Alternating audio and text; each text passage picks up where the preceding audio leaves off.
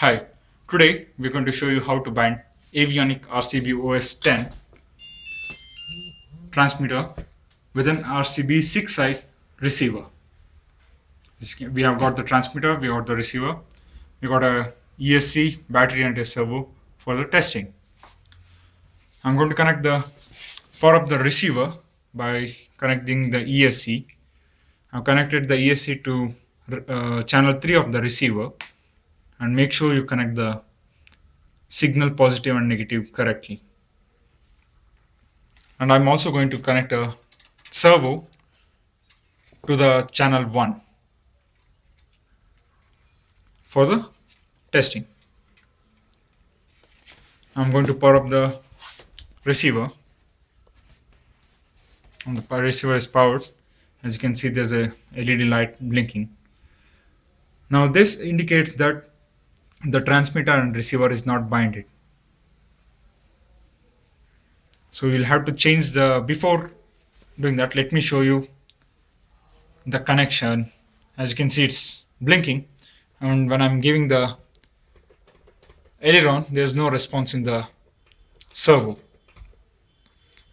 Let's unpower the receiver. And in the transmitter you'll have to change the protocols which I'll show you right now you'll have to enter the menu. As you can see there's a lot of options but you'll have to go for the model setting. And here you'll have an option called as bind and RF as you can see the sixth option bind and RF enter and you'll find the bind and RF page. You can see there's bind option and a protocol. Here now that we are uh, binding the RCB OS 10 with an RCB 6i receiver, you'll have to change the protocol. Sorry. Enter into the protocol. Once you enter, there's a underline coming be below the RCB OS 10. I'll just press up. As you can see, uh, the protocol has been changed to RCB 6i. Now it is changed, but it's not saved. So now we'll have to save it press enter once more and as you can see there's a underline went off have to go to the save RF configuration press enter now the transmitter has been uh, protocol has been selected to RCB 6i now the transmitter is ready to get binded with the RCB 6i receiver now once I press on the bind you only get have a window of 10 seconds for the binding I'll just show you that uh, binding. This last binding procedure only lasts for 10 seconds. So you'll have to be quick while binding the receiver. For this procedure,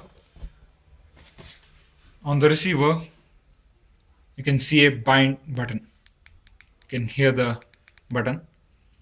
So once the binding procedure has been started in the transmitter, you get 10 seconds in the 10 seconds you'll have to i think you'll require a help of someone for the powering up and while before powering up you need to press hold of bind button and then power up the receiver. As soon as you see the first red light you need to release the bind button. Then only the transmitter will get binded with the receiver. So now i'm going to quickly do that. Just hold it. It's a bit tough doing with single person so take help from one of your friends or colleagues who is near you. I'm just going to press enter press hold of bind power up the receiver. I'll let go of the receiver as you can see the receiver light once it's binded the led will start blinking for two seconds continuously and it will stop. Now you get a constant LED signal from the receiver, LED light. Now we'll test with the receiver servo, which is uh, connected with the channel 1 and as you can see the servo responds. This is a simple easy procedure which you can actually bind an RCB OS 10 with the RCB 6i receiver also.